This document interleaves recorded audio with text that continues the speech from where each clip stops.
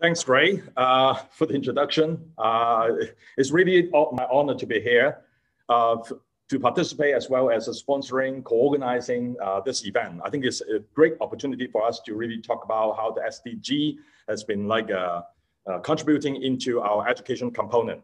Now, I think the SDG, we have like a 17 goals. I think these days when you go to any kind of conference, actually that would be a topic that we would try to focus on. Uh, I would just like to suggest everybody start thinking about out of those 17 goals, uh, what education can contribute to. It is not just about quality education. It can be how education can be linked to other components on these goals. So today, I think that we are here uh, having all the participants from all over the world to uh, engage in this process of discussion. I would like everybody to start thinking about what this design thinking approach would help us to move forward. While a lot of time we tell ourselves we need to think out of the box.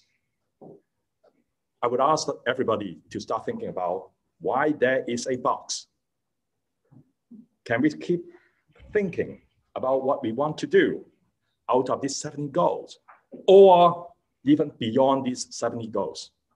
If we can do that, essentially all our students, uh, all our practitioners, our educators, they can identify very specific goals that they would be able to contribute.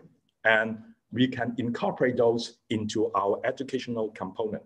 That would the best result we would like to see.